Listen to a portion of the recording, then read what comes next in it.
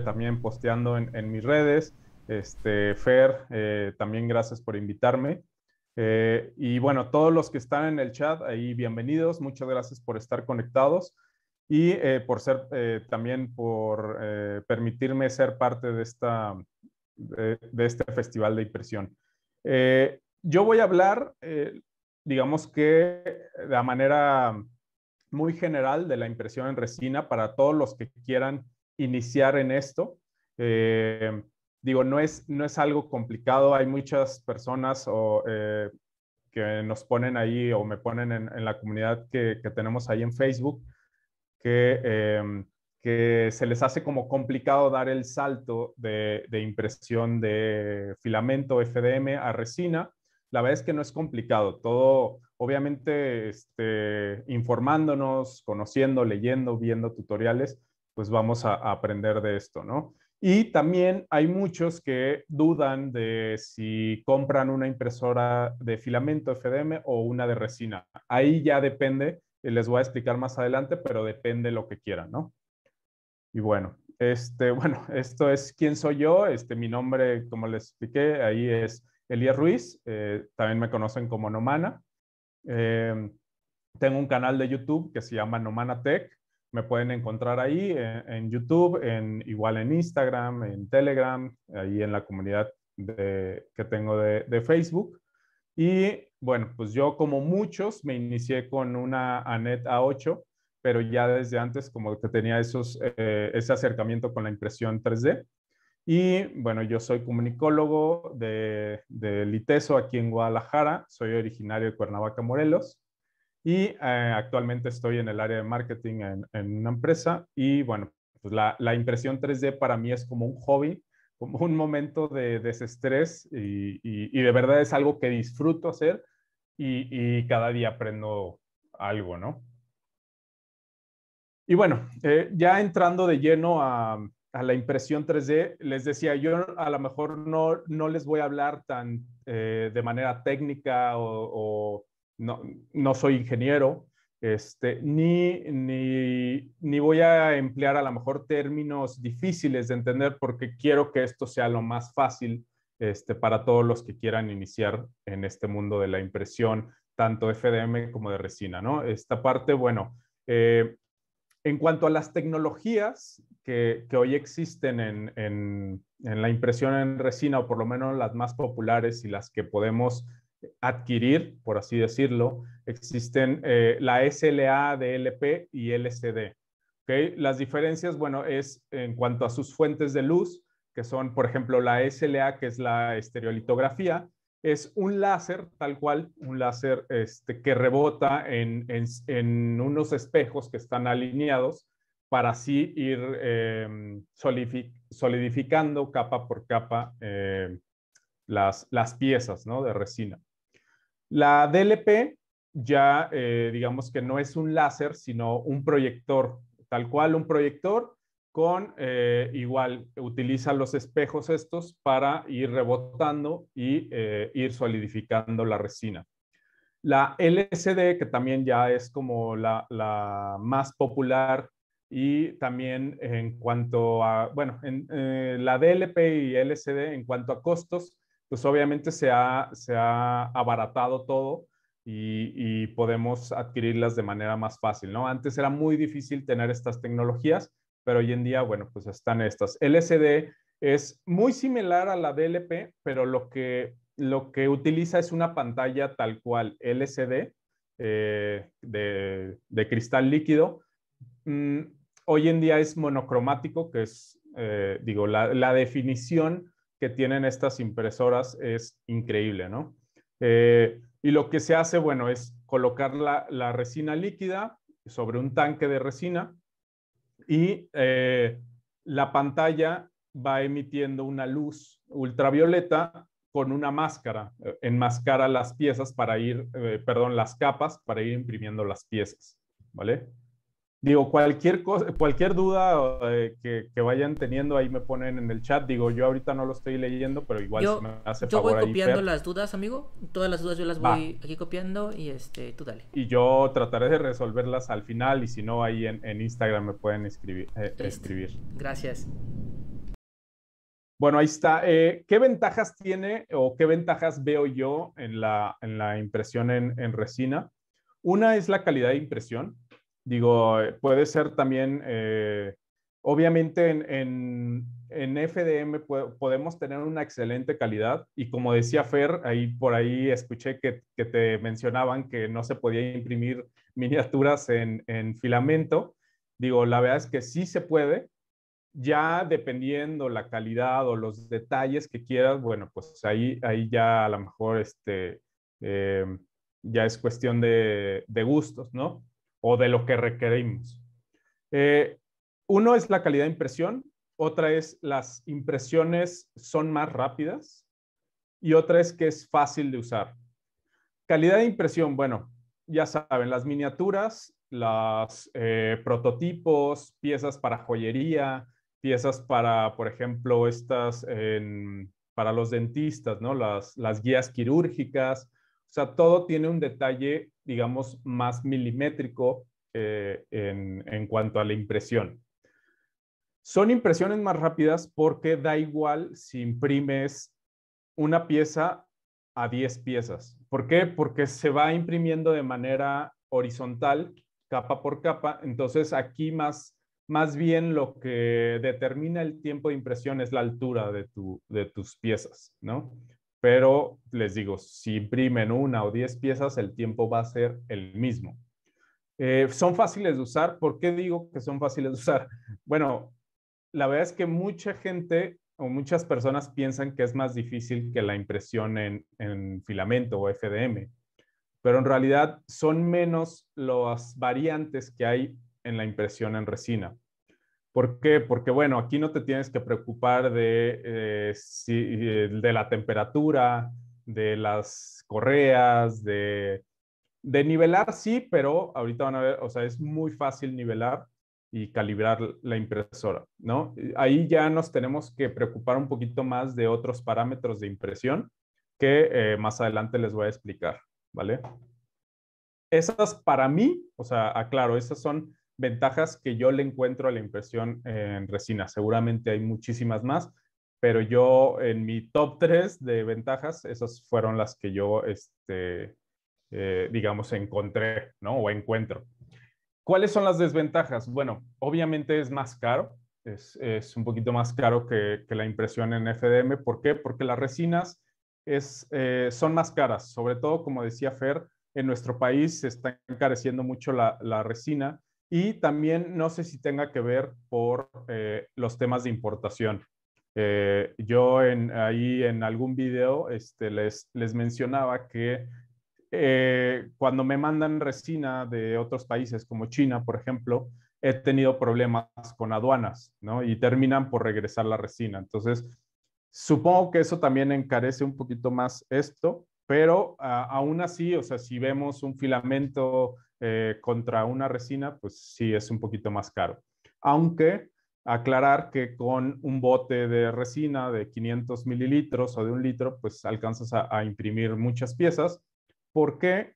Porque eh, pues las piezas que, eh, que, vamos a imprimir no son tan grandes, ¿no?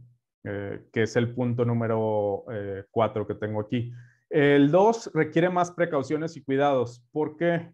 Porque, bueno, para imprimir, pues tienes que hacerte de un kit, que más adelante les voy a decir cuál es el kit, que, bueno, son eh, guantes, cubrebocas, eh, los agentes de la resina son eh, más tóxicos, entonces sí tenemos que tener más cuidado y tenemos que tener más herramientas y cuidados en, en cuanto a la impresión.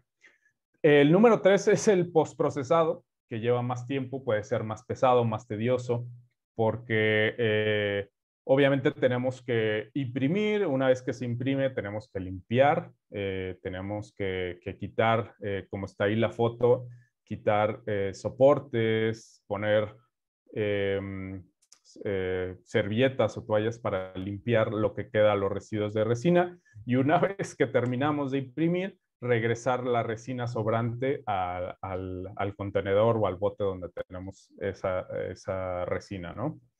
Y cuatro, bueno, pues es el área pequeña de impresión. Es cierto que ahora ya hay eh, o cada vez están saliendo impresoras con, con áreas de, de, impresión más grandes.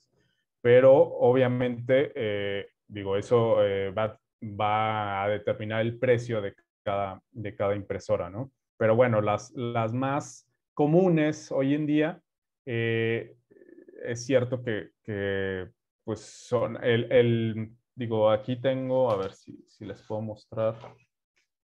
Las plataformas de, de, impresión, pues son pequeñas, ¿no? O sea, no es lo mismo que tener eh, las, las, grandes áreas de impresión que una FDM. Entonces, ahí está. Eh, otro, bueno, ¿qué necesito realmente para imprimir en resina? Uno, obviamente, es la impresora, ya sea SLA, DLP, LCD, Aquí me faltó otra tecnología que no la incluí porque, bueno, es un poquito más, eh, digamos, industrial, que es la, la Polyjet, este, que seguramente muchos ya conocerán. Pero bueno, eso ya es, es una tecnología igual, imprime con, con, resina, que creo que más bien es un plástico eh, líquido y ya pasa una, luz ultravioleta y la, lo va imprimiendo. Es más como una impresora este, de papel, ¿no? Que va imprimiendo las, las capas. Eh, otra, bueno, es la resina. Existen diferentes tipos de resina. Más adelante les voy a, comentar cuáles. Y eh, tres, pues todo el equipo, ¿no? De guantes, cubrebocas, recipientes, toallas, bolsas de basura, este, alcohol isopropílico. Eh, aunque ya hay resinas que las puedes lavar con agua, pues siempre también el alcohol isopropílico es bueno para limpiar lo que es la plataforma, limpiar eh, todo el BAT, el, FEP, etcétera. Ahorita les voy a explicar también cuáles son esos términos. Eh, y luego, pues importante tener ahí un lugar ventilado, ¿vale? Ahí se escuchan ladridos, pues es mi perro que está ahí ladrando en el fondo. Este, bueno. Este es más o menos el setup que yo, que yo tengo para imprimir en resina, que obviamente pues es la, la impresora, guantes, eh, de nitrilo de preferencia. Yo lo que uso son unos guantes de nitrilo, pero que no son desechables. Entonces, eh, imprimo y ya de vez en cuando los voy lavando, también para no, no desperdiciar tanto ni crear tanto desecho, ¿no? Eh, lentes de seguridad de preferencia, resina, obviamente, alcohol, alcohol isopropílico, eh, embudo. ¿El embudo para qué? Bueno, pues el embudo lo vamos a usar, embudo y con filtro lo vamos a usar para regresar la resina.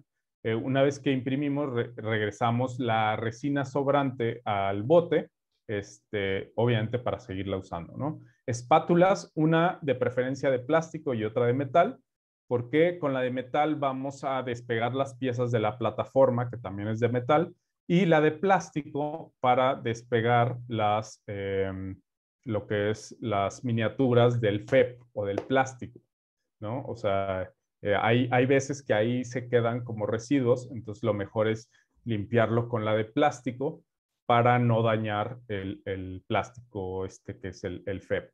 Toallas de papel. Eh, yo también lo que uso y les recomiendo es un tapete de silicón.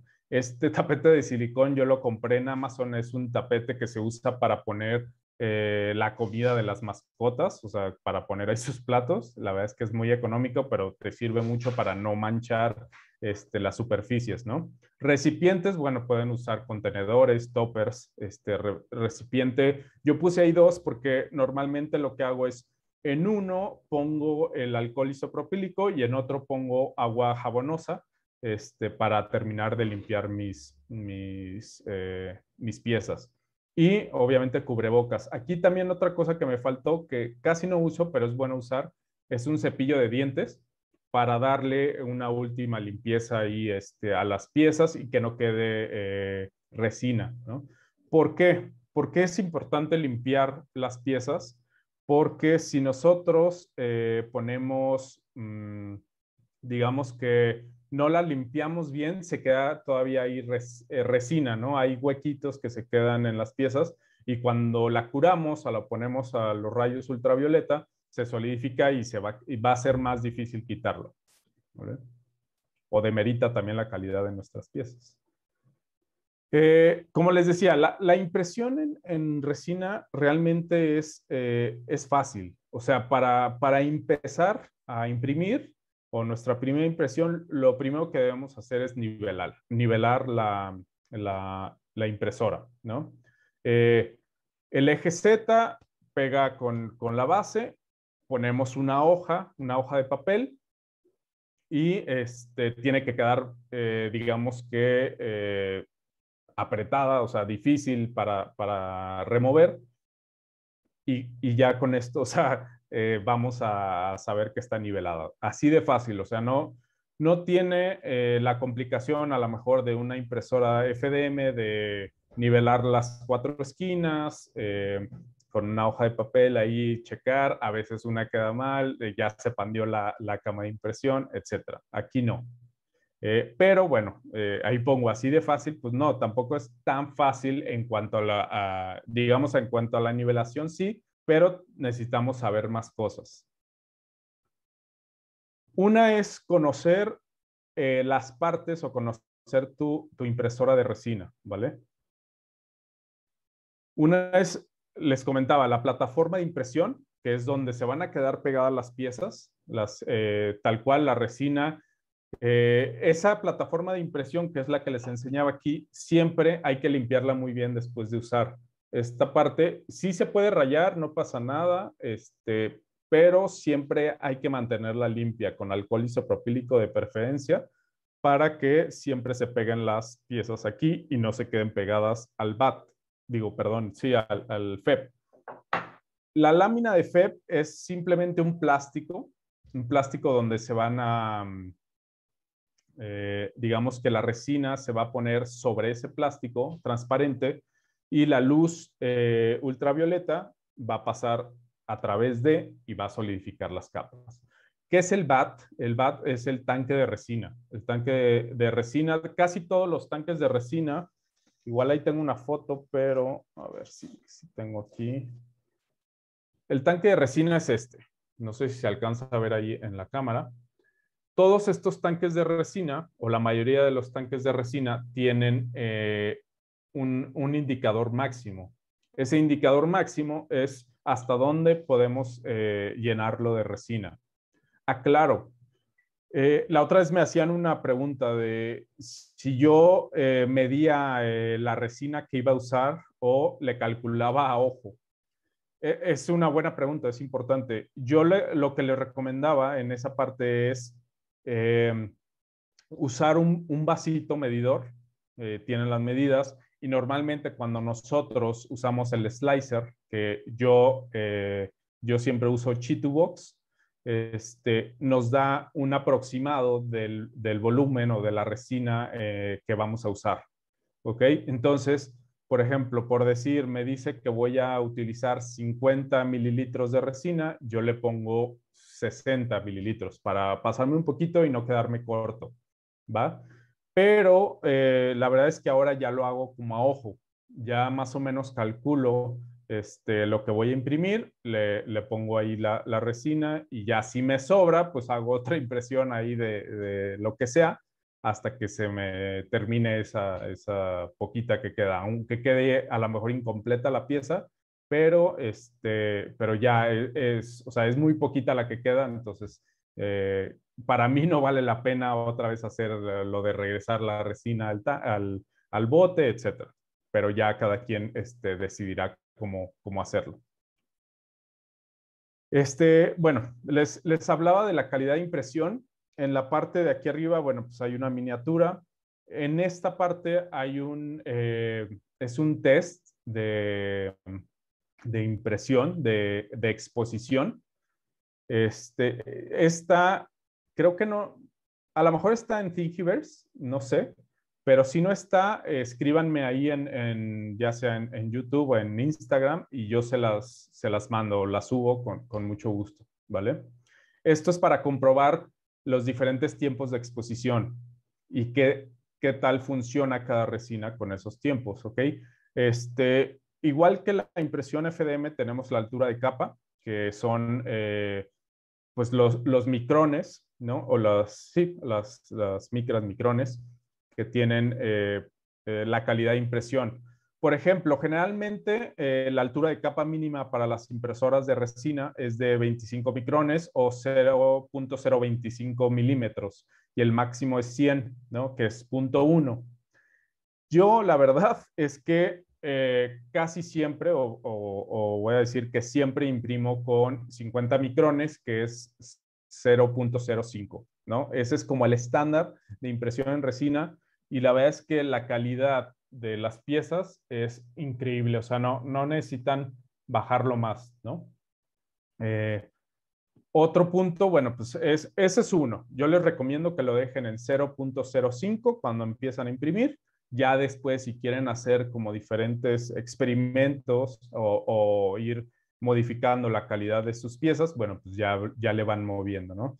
Los tiempos de, exposición en la resina también es súper importante. Esto ya depende de la marca de su resina, de la marca y del tipo de resina, porque por ejemplo yo he impreso en diferentes marcas también, pero también de la misma marca diferentes tipos de resina y es muy difícil eh, ir como calculando, por ejemplo, no hay un estándar de tiempos de exposición para la, resina, por ejemplo, lavable en agua, y la resina estándar. O sea, sí hay una variación ahí, es lo que quiero decir. Eh, por ejemplo, hay unas, eh, he notado que la resina, ah, y también los colores. He notado que la resina de lavable eh, en agua necesita más tiempo de exposición que la resina estándar, por ejemplo. O, o, la resina, por ejemplo, ahí tengo uno de mis últimos videos, imprimo con una resina que se llama Pelea Pro, que es una resina eh, que ya tiene una, una precisión mejor que otras resinas. Entonces ahí necesita también más tiempo de exposición. Yo lo que le recomiendo, una, este, como eh, un tiempo estándar de, de, exposición, son seis segundos por capa y ya de ahí la van bajando, la pueden bajar hasta tres si quieren. Este, ya también depende de su impresora, si es 2K, 4K, pero por lo, por lo pronto yo les recomiendo que esté en ese rango. Y unos 50 o 60 segundos de exposición en la base. ¿Cuál es la exposición en la base? Es donde se va a pegar, eh, digamos que es la primera capa o las primeras capas donde se va a pegar nuestros, eh, ya sean los soportes o nuestra base de la pieza. ¿okay? Entonces yo les recomiendo un estándar de 50 o 60 segundos. Igual, esto es mucho de ir probando ir probando tanto diferentes marcas, uh, ir probando diferentes tiempos de exposición, ¿vale? Eh, luego también, bueno, ahí les pongo que imprimir un, un test, el XP2, para eh, ver o comprobar qué tiempos de exposición son los mejores para cada resina que ustedes tengan. Y ya sobre eso, bueno, pues ya, ya pueden imprimir siempre con los mismos tiempos ese, esa resina, esa marca de resina o ese tipo de resina. ¿Ok? Y luego también tenemos otra cosa que es el Z-lift o el alzado en Z, que no es más que la velocidad que tiene eh, el eje Z eh, en, digamos, en vertical, cómo va subiendo esa, ese eje, tal cual. O sea, nosotros no podemos tener una, una velocidad muy alta ni una velocidad eh, muy baja. Porque si tenemos una, una velocidad muy alta en, en, el, en, Z, este, pues simplemente las piezas no se van a pegar, ¿no? Eh, y si bajamos mucho la velocidad, eh, el tiempo de impresión pues, va a ser más, más largo, ¿no? Entonces, este, lo ideal es poner una velocidad estándar de 5 o 6 milímetros, que es lo que le recomiendo, ¿vale? Eh, estos son más o menos los parámetros. Por ejemplo, ahí yo tengo este, para la, resina Pelea Pro, tengo mis parámetros así. Es una eh, altura de capa de 0.05 milímetros. Eh, tengo también una exposición de cada capa de 4 segundos y una exposición de, de la base de las primeras capas de 60 segundos. Y bueno, ya ahí tengo, si ven, este, el, la velocidad, el, el, lifting speed tengo 60, pero en la distancia de, de, levantamiento tengo 5 milímetros, que es como lo estándar. Yo aquí, si van empezando, les recomiendo que no le muevan más que al, a la exposición, al tiempo de exposición y al tiempo de, eh, de la exposición en base, que serían, no sé si ahí ven mi pantalla, pero serían estos tres. ¿Vale? Esos son como, em, como cruciales, o digamos que si están empezando en esto de la impresión eh, en resina, les recomiendo no mover nada más, más que estos tres tiempos, ¿no? Porque casi todas, eh, o por lo menos los slicers nuevos como Chitubox, eh, incluyen siempre como los, los perfiles estándar de cada impresora. Por ejemplo, yo aquí tengo una Voxela Proxima 6 este, y eh, me da todos estos valores, me los da casi por defecto, según la resina que yo, que yo escoja, pero sí es importante estos valores, ¿vale? Digo, cualquier cosa ahí, ahí me escriben, este, yo les, les contesto. Otra cosa súper importante, que bueno, también en la impresión FDM es importante, pero aquí, eh, sobre todo en la resina, para tener unas capas, digo, perdón, sí, unas capas y unas piezas de mejor calidad, eh, cuidar mucho lo que son los soportes, la inclinación y la orientación de su pieza, ¿vale? Este, bueno, eh, la orientación de la pieza y los ángulos de, impresión eh, pueden variar según también eh, la pieza, pero yo recomiendo, si, si, ven aquí en la foto, yo recomiendo que sus piezas las impriman con un ángulo de 35 grados. ¿Por qué? Una es que si ustedes lo imprimen tal cual en vertical, hay un efecto que se llama efecto chupón este, en las impresoras de resina, que eh, una puede haber un warp en la parte de la base, otra puede ser que para retirarla sea muy difícil, o sea, para retirar su pieza va a ser excesivamente difícil porque va a ser un vacío, ¿no?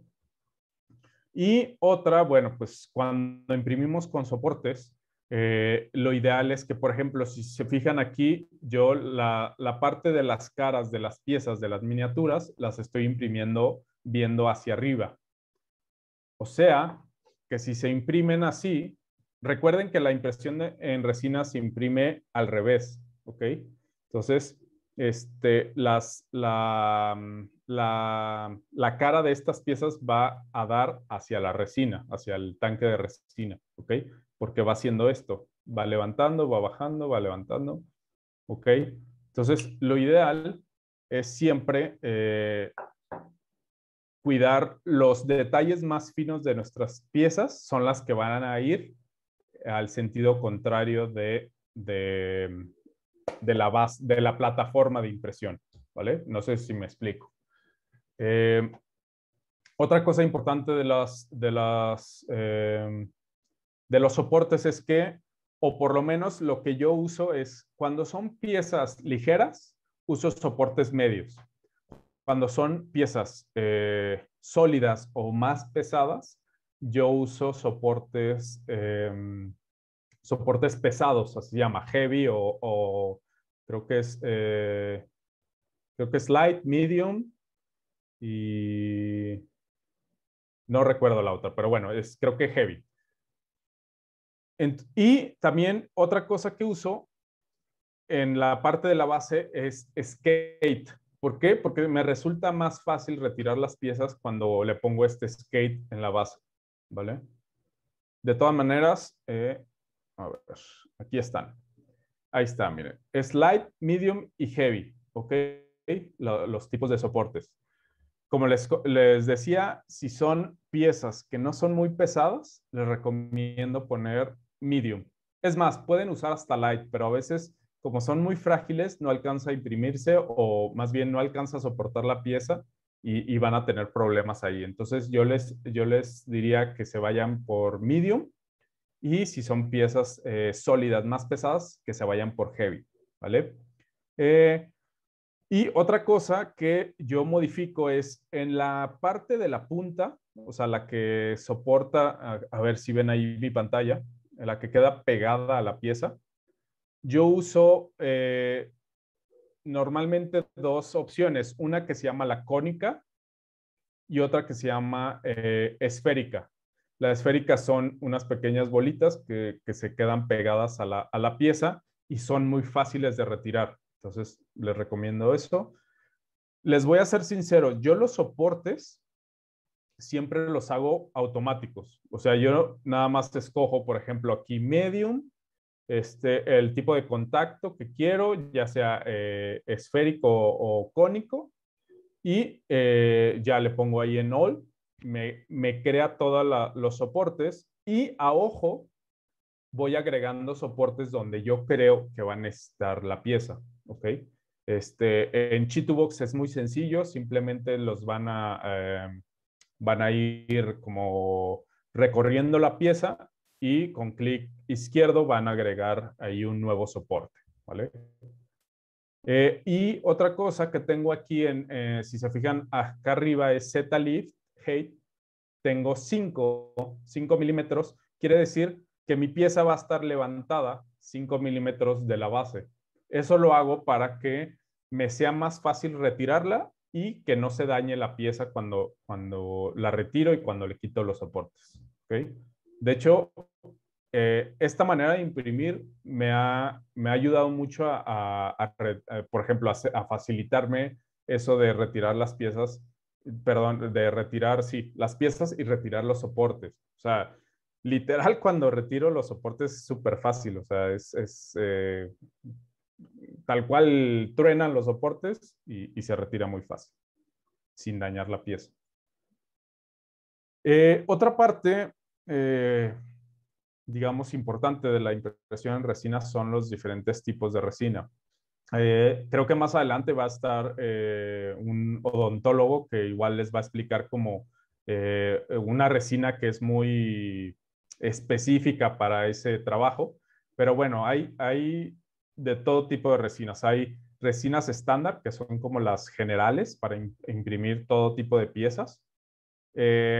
resinas flexibles también, como tipo el TPU, este, o este, como tipo ULE, esas son, son un poquito más caras, eso sí hay que aclararlo, por, por decir algo, una eh, medio litro de resina estándar te está costando ahorita unos, eh, dependiendo, pero bueno, te, está costando unos 50 dólares.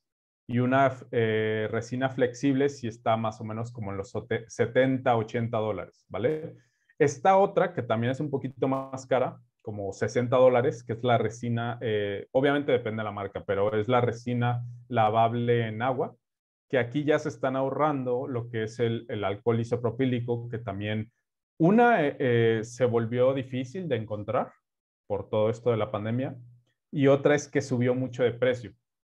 Entonces, con este tipo de resina de water washable o resina lavable en agua, se ahorran esa parte de, limpiar con, alcohol isopropílico y que aparte, bueno, a mí personalmente el alcohol isopropílico este, no me gusta mucho el olor y, es muy fuerte y, la verdad es que sí llega a molestar más que el olor de la resina. Esa es otra cosa. Hay resinas que son, eh, que tienen un olor más fuerte y hay resinas que casi no percibes el olor. Eso ya depende de la marca y del tipo de resina. Este, y luego hay otra, por ejemplo, esta que, pongo aquí de Sirayatec, que creo que casi, todas las marcas lo tienen, pero es una, es una resina que es más resistente, es más fuerte. Este, puede resistir caídas, golpes, este, entonces como que absorbe más los impactos y este, eso es para otro tipo de, impresiones, ¿no? Si quieren impresiones, por ejemplo, de engranes, de que, van a, soportar ciertas fricciones o calor, pues también hay, hay resinas para eso. Este, hay otras que son, por ejemplo, para las guías eh, quirúrgicas, eh, guías dentales, también que son este, biomédicas, son biocompatibles, entonces eh, no son tóxicas. No sé bien, pero bueno, según lo que he leído, es que la resina obviamente es tóxica, ya cuando se cura, se solidifica, este, el, grado de toxicidad baja, ¿vale? Pero pues tampoco hay que fiarnos. Siempre, este, si vamos a usarlo, por ejemplo, para para cuestiones dentales o cuestiones que se van a, usar para, para, no sé, a lo mejor hasta para comida o cosas así, pues siempre ver que sean compatibles, ¿no? Luego, este, de todo esto viene el postprocesado, que es, les decía, es, es algo eh, mm, pesado, digo, no, eh, es, sí, es más tedioso que pesado, pero eh, es súper importante realizarlo, ¿no? Y esto es retirar el exceso de resina que queda en la pieza, aplicar un lavado y posteriormente curar esta resina. ¿Para qué? ¿Para qué se hace todo este postprocesado? Una, eh, retirar el exceso de resina, les decía, para que no queden esos pequeños em, puntos o hasta inclusive los soportes para que no queden pegados a la pieza y que, sea más fácil retirarlos después o para em, disminuir el, tiempo de a lo mejor si tú vas a lijar la pieza, bueno, pues lo, ideal es que no queden como esas rebabas, ¿no? Eh, luego, eh, aplicar el lavado, pues simplemente es para eso, quitar el, resino, eh, el residuo de, o el exceso de, de resina y luego curar la, resina para conservar su rigidez. Esto es ponerla ya sea al sol, que es, digo, es, gratuito y, es, para mí me ha resultado lo mejor. Y otra es comprar una lámpara UV, ya sea de estas que venden para, las uñas o, una lámpara UV específica para esto o un, un este, hay muchas marcas de impresoras que ya te venden todo el, el wash and cure que es el, pues todo este, este kit, ¿no? De, lavado y de curado, ¿vale? El curar la resina es algo súper importante porque con esto nos aseguramos que la resina quede rígida, que, tenga todas las propiedades que, la marca de la resina nos está aportando, ¿no? Otra es, bueno, la limpieza así tal cual como yo la hago, este, lo que hago es limpiar la, plataforma, aquí, aquí lo muestro, con alcohol isopropílico. Eso sí, lo pongo en un eh, atomizador y con unas eh, toallitas de papel limpio todo lo que es la plataforma para después poderla seguir usando. También les recomiendo, si, si, si pueden, es eh, comprar a lo mejor unos, unas plataformas flexibles, magnéticas. Y con esto, bueno, pues es mucho más fácil retirarla y limpiarla, ¿vale? Eh, luego hago una primer limpieza con alcohol o con agua, según sea el caso de la resina. Eh, la, lavo muy bien, este, obviamente siempre usando guantes, usando cubrebocas y también usando, eh, si se puede, lentes de protección.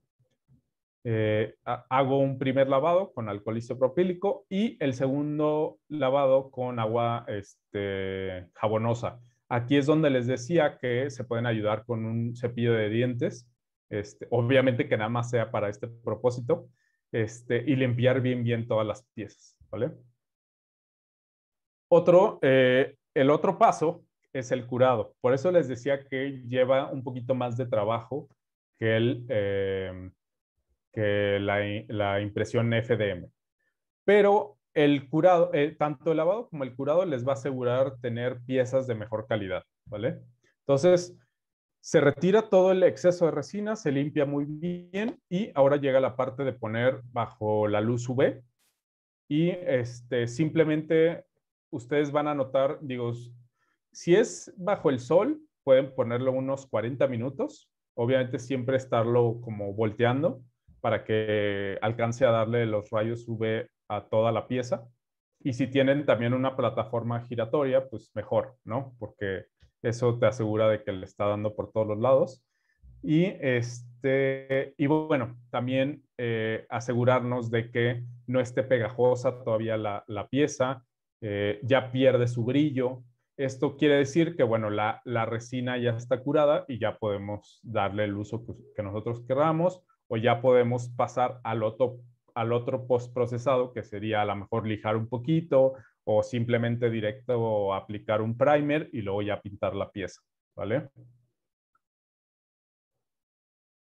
Eh, y bueno, ahí está el resultado de, eh, en la parte izquierda, aquí, ven cómo todavía está brilloso, tiene algunas, eh, algunas partes, ¿no? Este, con, con, todavía con resina, este, se ve ahí el líquido. Y luego ya una vez que yo la curé, que la limpié y todo, bueno, pues ya se ve eh, más opaca, como color mate la resina, ya curado. Aquí, por ejemplo, este, yo le puse más tiempo de exposición del que debería. Y lo que pasa es que eh, se ven como unas marcas, ¿no? Se, se hace como blanca la, la resina en, en, esa parte. Entonces ahí también es cuestión de prueba y error, sobre todo si son resinas que no han probado ustedes, que son nuevas, pues es mucho de prueba y error, ¿no? Este, bajar el tiempo de exposición o subir el tiempo de exposición, siempre y cuando no, no nos pasemos mucho. Este, y luego, bueno, aquí estas miniaturas yo, yo las modelé, yo la digo, últimamente estoy ahí este, haciendo pruebas y este, las modelé en Blender posteriormente para, para imprimirlas, ¿no? Este, estas las pueden descargar desde mi cuenta de Cults. Este, simplemente en Cults ponen Nomanatech y van a ser las primeras que les van a aparecer ahí, ¿vale? Ahí están. Si se fijan, o sea, la calidad de la, de, la impresión en resina es, es, increíble, es impresionante. O sea, es eh, del lado izquierdo, bueno, aquí eh, tienen un, un, este, caballero que imprimí con la resina Pelea Pro. Y en esta parte central ya ven cómo, cómo ya está pintada, ya, o sea, la verdad es que eh, conserva mucho los detalles, si hay una diferencia de la impresión en FDM, no se va a notar tanto las capas de impresión y va a ser una, una impresión un poquito más, más cuidada, digamos. ¿no? Aquí, si se fijan arriba, bueno, pues ahí están los de Star Wars, ahí tengo unos de Warhammer, de Hero Forge. Y vean la, o sea, el tamaño. Yo aquí lo comparé con una micro SD y este, aún así, digo, aquí en la foto a lo mejor no, no tendría que acercarme mucho, pero, eh, o sea, los detalles eh, son, son eh, increíbles. O sea, por ejemplo, aquí este trae un cuchillo que casi no se nota aquí, pero es, o sea, imagínense el tamaño del cuchillo o del casco que está aquí y, y mantiene esos detalles, ¿no? Aquí está otro, igual este lo, lo imprimí en, en, con PLA Pro. Si se fijan, está brillosa porque todavía no está no está, no la limpié ni tiene el, curado, ¿no? Y bueno, eh, ahí tengo también, si quieren ver más eh, como figuras que tengo, miniaturas, impresiones, pueden checar ahí mi Instagram, es Nomanatech.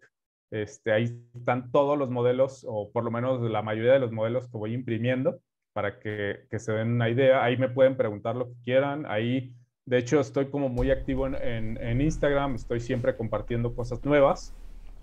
Y también, bueno, ahí está mi, canal de YouTube, eh, Nomanatech. También si se pueden dar una vuelta ahí, los invito a suscribirse.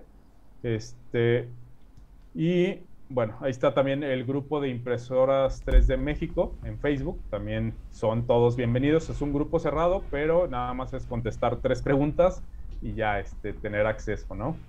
Y bueno, este, creo que, digo, obviamente esto es un tema que, podríamos seguir platicando horas y horas, pero quería como abarcar eh, eh, la, la, parte fácil ¿no? de la impresión en resina para todos los que van empezando.